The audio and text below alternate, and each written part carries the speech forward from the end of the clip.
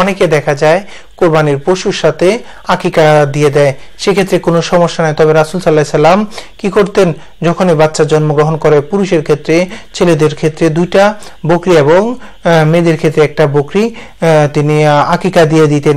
কিন্তু রাসুল সাল্লাহ সাল্লাম যেহেতু এটা দিয়ে দিতেন এবং সাত তারিখ অথবা জন্মের চোদ্দ তারিখ অথবা জন্মের একুশ দিন পরে তিনি এই আকিকাটা দিয়ে দিতেন। আপনি কোন সময় আপনার কোরবানি হবে, ওই সময় পর্যন্ত অপেক্ষা করা এটা মোটেও উচিত না।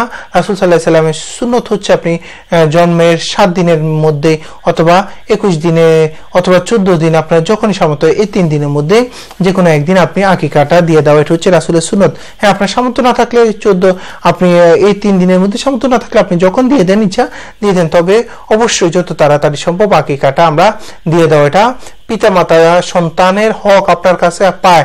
এই জন্য পিতামাতা সামর্থ্যবান, প্রত্যেক সামর্থ্যবান পিতামাতা, তারা যেন তাদের সন্তানকে সাত দিনের সাত দিনের তারিখে, একুশ তারিখে অথবা চোদ্দ তারিখে এই তিনটে তারিখের মধ্যেই তার আকিকাটা দিয়ে দেয়। একেবারে কোরবানির জন্য অপেক্ষা করা এটা উচিত না। হ্যাঁ আপনি কোরবানির পশু দ্বারা, কোরবানির পশুর মধ্যে আপনি যদি আকিকাটা দিয়ে দেন, ইনশাআল্লাহ ইনশাআল্লাহ আপনার আকিকাটা হয়ে যাবে।